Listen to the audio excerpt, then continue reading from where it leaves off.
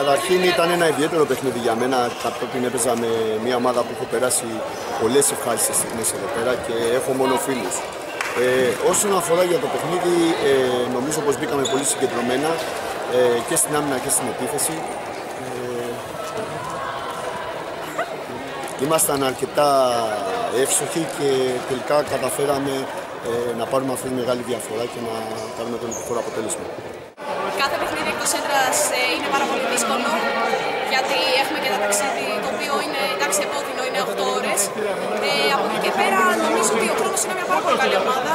Ε, έχει πάρα πολύ καλές νεαρές αθλήτριες, έχει κατά τη γνώμη και καλές ξένες. Ε, τώρα με την αλλαγή προπονητή νομίζω θα πάρουν και τα πάντα βαθμολογικά. Σήμερα νομίζω ότι κάναμε μια πάρα πολύ καλή προσπάθεια στην επίθεση. Ε, είχαμε πλάνο και το ακολουθήσαμε στο 100%. Ε, από εκεί και πέρα είναι μια νίκη.